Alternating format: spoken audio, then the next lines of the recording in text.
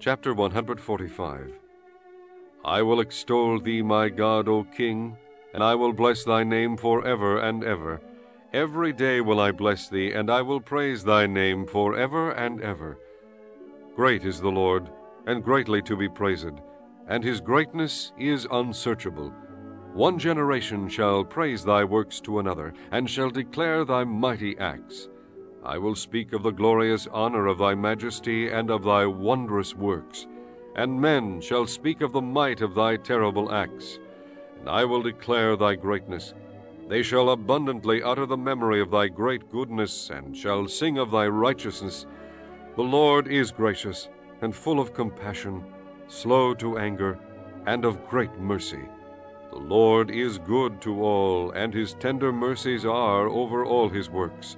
All thy works shall praise thee, O Lord, and thy saints shall bless thee. They shall speak of the glory of thy kingdom, and talk of thy power, to make known to the sons of men his mighty acts, and the glorious majesty of his kingdom. Thy kingdom is an everlasting kingdom, and thy dominion endureth throughout all generations.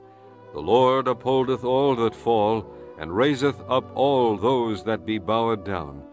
The eyes of all wait upon thee, and thou givest them their meat in due season. Thou openest thine hand, and satisfiest the desire of every living thing. The Lord is righteous in all his ways, and holy in all his works.